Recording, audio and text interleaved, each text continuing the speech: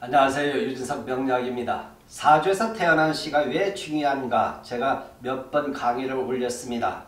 정말 많은 사람들이 그걸 보셨고 또 많은 분들이 저에게 메시지를 보내주셨습니다.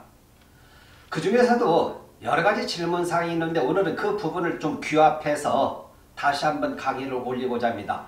태어난 시가 왜 중요하냐 그리고 태어난 시가 모를 때 어떻게 상담을 해야 하느냐 이런 부분을 가지고 가장 많이 질문을 받았습니다. 그래서 이런 부분은 좀 참고해 보시고 또 왜 태어난 시가 중요한가 어떤 부분을 보기에 태어난 시가 중요한가 강의를 시작해 보도록 하겠습니다. 자 사주팔자에서 연월일시가 있습니다. 사주팔자에서 연월일시가 있다. 만약에 태어난 시가 신시다. 인시다, 묘시다 있겠죠. 오늘은 이 태어난 시의 중요성을 이야기하고자 하는 것입니다. 사주팔자에서 태어난 달이 좋다. 태어난 잘 갖고 태어났다. 태어난 띠. 띠를 갖고 잘 갖고 태어났다. 이런 말은 없습니다.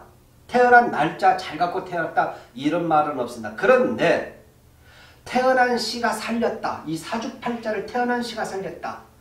시를 잘 갖고 태어났다는 말은 정말 많이 있습니다. 그만큼 태어난 시가 중요하다는 걸 이야기해 주겠죠. 태어난 시가 사주 한 판을 살렸다는 걸 이야기해 주겠죠. 정말 근거가 있습니다. 너무나도 근거가 있습니다. 그 부분을 잠시 설명을 해드리겠습니다. 잠시 후에. 그리고 태어난 시가 유일하게 사주팔자에서 시운법이 있습니다. 시운법. 자, 시운법이라는 건 뭐냐? 사주에서 시만 가지고도 사주를 돌려서 운세 흐름을 보는 것이다. 근데 굉장히 정확도가 높습니다. 시만 가지고 봐요. 시. 태어난 시. 어디에서? 스님들이 많이 봅니다. 쉬우니까. 근데 이것이 깊게는 못 들어가도 큰 흐름에서는 굉장히 잘 적중률이 높습니다. 제가 이 부분도 많이 공부해봤기 때문에 합니다. 그러니까 쉬운 법이 있어요.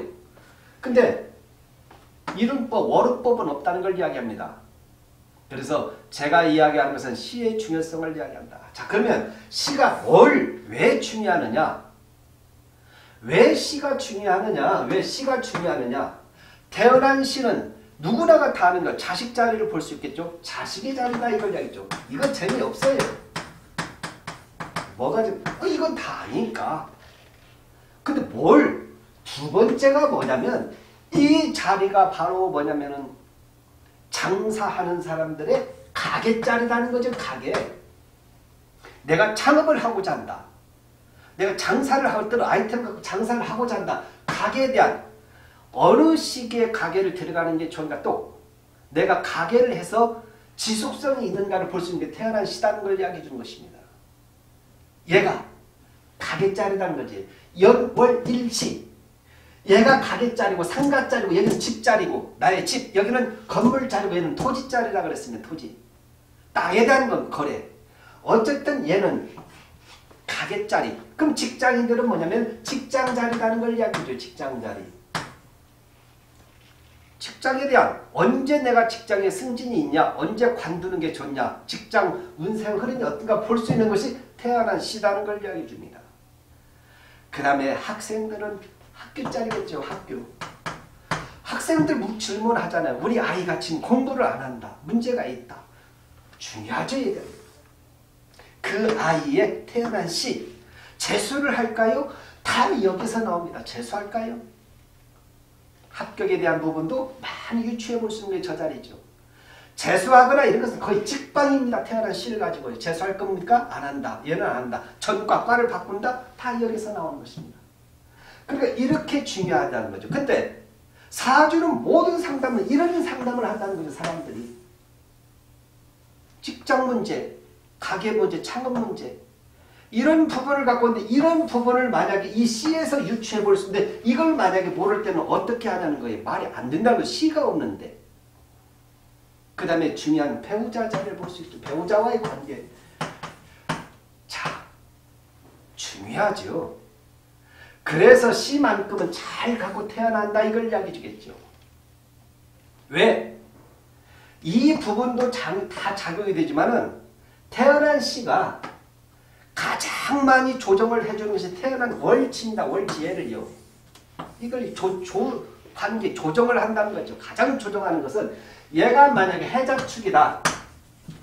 한겨울에 태어났다. 근데 특히 자월에 태어났고 축월에 태어났다. 자월과 축월에 태어나서 너무 춥고 냉한데 얘가 사오미에 있다고 했을 때 40, 50, 20에 태어났을 때는 얘를 조우를 해준다는 걸 이야기해줘요. 태어난 일지가 조우를 안 하고 연지에서 조우 못합니다. 그 힘이 없어요. 유일하게 조우를 해준 것은 태어난 시라는 거죠. 태어난 날짜에 예를 들면 5에 태어났다고 해서 얘가 낮에 태어났다고 해서 낮에 아니라 일지에 5를 갖고 태어나서 그것을 화기로 보지는 않습니다. 그냥 단지 화지. 그러나 태어난 시간이 4시 5시에 태어났다면 이때는 뭐냐 한낮을 피어난다는 거죠. 한겨울 한낮에 태어났다. 한낮에 태어났기 때문에 바로 조후를 해주는 역할을 한다는 게 균형을 이루기 때문에 얘를 조정하는 것은 유일하게 시다는 걸 이야기죠. 이렇게 추울 때는 이거라도 있을 때 좋다는 걸 이야기해줍니다. 특히 5시에 태어났다면 좌우상충을 한다 해도 얘를 좌우상충에도 나중에 큰 역할을 합니다. 그래서 시가 굉장히 중요하다. 이한 판을 전체 마지막에 뒤집게 할 수 있고 말년에 중년과 말년 결혼 이후의 삶에서 변화를 줄 수 있기 때문에 좋다는 걸 이야기해 주겠죠. 그래서 이런 부분 세 번째는 세 번째는 배우자와의 관계지만 배우자의 관계지만 중년과 말년을 이렇게 보는 것이 태어나시다는 걸 이야기해 주겠죠. 중년의 삶이 어떠냐 마지막에 말년의 삶이 어떤 자식이 어떤가 중말년이 어떤가 이걸 볼 수 있겠죠. 사람들은 질문합니다. 내가 어떻습니까? 삶 자체. 지금 40대, 50, 아니 50대, 60대들이 와가고 상담을 할 때 태어난 시의 관계를 놓고 볼 때 만약에 이렇게 냉하고 추운 상태에서 50에 태어났다. 이런 상태에서 만약에 인대운이 둘 때는 이때는 뭐냐 한 방이 치는 거죠. 큰 기운을 발휘할 수 있다는 걸 이야기해 주겠죠. 아주 좋습니다 할 수 있겠죠. 이때는 치고 나가자. 아주 좋 말년이지만 괜찮다 설명할 수 있겠죠. 그런데 만약에 신시다 했을 때는 자월, 해자축월의 신시다면은 이때는 뭐냐 얘를 아무리 도와주려고 해도 힘들다는 걸 이야기해 줍니다. 그래서 이때는 스스로가 네가 타인, 주변 사람을 활용해서 풀어나가야 한다는 거죠. 그러나 이렇게 오시에 태어나거나 미시에 태어나거나 사시에 태어났으면 자기 스스로 결국은 한 방 칠 수 있다는 걸 이야기해주고 이것이 없고 조우가 안 될 때는 타인의 힘을 빌려서 풀어야 하는데 그것이 만만치가 않다는 걸 이야기해 주는 것이죠. 이렇게 중요하다는 걸 이야기해 준다. 중년, 말년을 볼 수 있고 사주에서 왜 태어난 시가 중요하느냐 어떤 분들은 태어난 달이 중요하다. 태어난 달은 사주의 여덟 글자 중에서 얘가 차지하는 비율이 굉장히 크고 그 부분에서 중요한 거고 그릇의 크기, 격이잖아요. 격. 그릇의 크기를 볼 수 있다는 것이죠. 이 사람이. 그리고 또 어느 큰 흐름으로 갈 수 있는가. 얘가 만약에 관직으로 가려고 하는데 관직인데 어느 붓에서 승진과 크게 성공할 수 있냐는 것은 얘에서 이렇게 유추해 볼 수 있다는 걸 이야기해 줍니다. 그런데 그렇지 않은 경우는 뭐냐? 그때는 힘들고 어렵다 이렇게 설명이 되겠죠. 그래서 태어난 시가 중요하다. 그러면 태어난 시를 모르는데 그럼 어떻게 할 거냐? 잠자리를 갖고 잠을 뭐 어떻게 해서 그것은 명약이 아닙니다. 잠을 이렇게 잔다 이렇게 잔다. 이것은 그 학문이 아니고 그 잡탕이고 태어난 시도 우리가 명략적으로 보면 이 시는 직장 자리라는 걸 이야기해 주게. 직장 자리고 사업장 자리고 가게 자리고 하는데 어떤 일을 해왔느냐? 역마살이 있느냐? 인신사에 인신사에 있느냐? 좌우묘유가 있느냐? 진술충매에 있느냐 큰 흐름을 세 가지로 놓고 본다는 걸 이야기해 주겠죠. 그러면서 어떤 일을 해왔는가를 바로 상대에게 질문을 던지면은 이 안에서 일단 좁혀지겠죠. 인신사회 속에 있구나. 아 좌우묘에 있구나. 아니면 진술충매에 있구나. 벌써 유추해 볼 수 있죠. 어떤 일을 해왔는가를 보면은요. 그래서 저는 늘 이 부분을 시를 모르는 사람들 이 부분을 제가 질문을 던지고 금방 그러니까 찾아낼 수가 찾아낼 수 있는 것이죠. 그리고 나서 사주를 전체로 설명이 대조한다는 걸 이야기해 줍니다. 왜 그럽니까? 왜왜 그러냐? 자, 이거 하나만 보자고요. 신시에 태어났는데 만약에 여기에서 예를 들면 일지가 호랑이 인자를 갖고 태어났다고 해서 인, 인신 상충하고 있네요. 배우자 자리 인신 상충하고 근데 만약 시를 모른다고 해보세요. 시를 모르고 자 신신하면은 인신 상충인데 상충인데 그러면 배우자 문제 여러 가지 직장 부분에서 어느 시기에 언제 어려움이 있을까를 선명하게 알 수 있잖아요. 어느 해 문제가 있구나. 어느 시기에 아니면 좋은 일이 있겠구나. 알 수 있다는 걸 이야기해 준 거예요.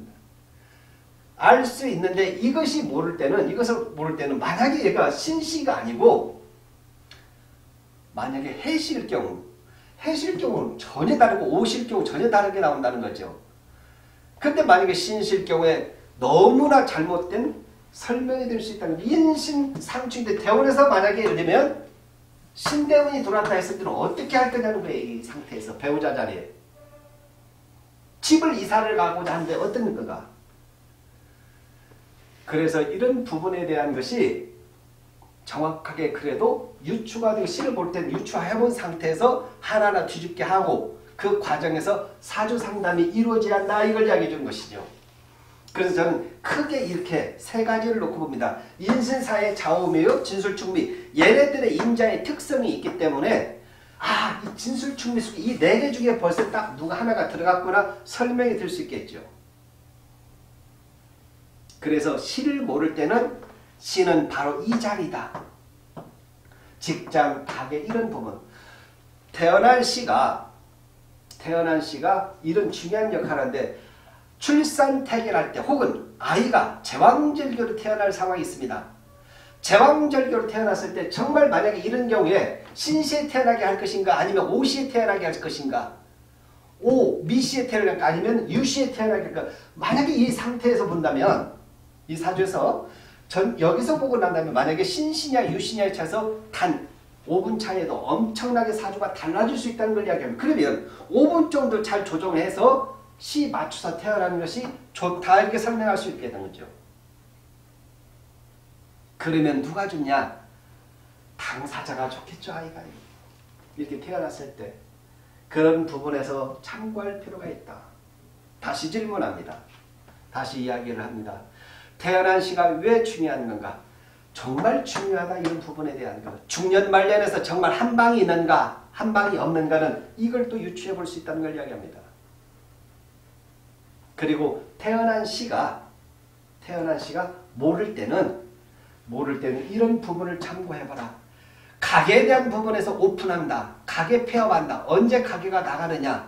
이 부분도 가장 큰 사치를 갈 수 있는 것이 이거고 승진과 합격과 그 다음에 회사에서 퇴직하는 이런 부분도 태어난 시에 대한 부분을 가장 중점적으로 연결시켜서 보면은 정확도가 가장 높다 이렇게 설명할 수 있습니다. 그래서